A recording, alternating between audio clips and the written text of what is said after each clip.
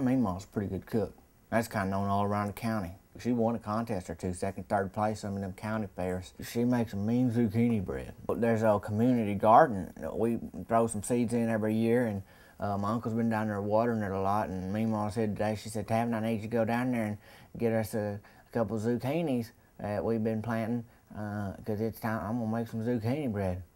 Boy, I said, I, you, you got it, Meemaw. I marched down there. And so my brother Brett's sleeping on the couch. He hears zucchini bread, buddy, and he just jumps right up and he says, Meemaw, did you make some zucchini bread?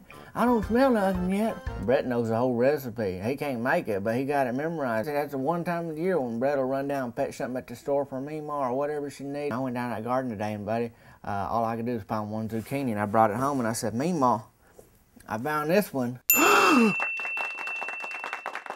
first thing Brett does, he looks right at it and he says, the recipe calls for two zucchinis.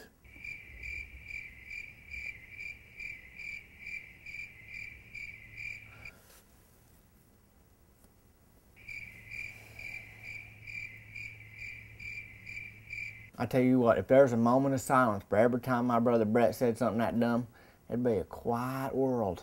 The thing that Brett's mad about now is he's thinking Meemaw ain't gonna go ahead with the plan to make the bread because uh, she wants to show off the zucchini a little bit more before she cuts it up and makes bread out of it. And I said, well, Brett, if she wants to, let her do it.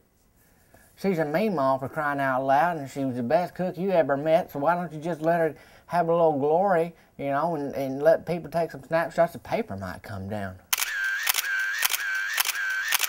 And Meemaw was kind of nervous about that. She had her hair in rollers, and she was looking for her best moo to put on so she could, you know, put on a good smile and and hold the zucchini. And Truth be told, I think we could feed the whole town with everybody get their own loaf. You know, with this little baby here. And I'll probably be nibbling on your zucchini bread the rest of the summer.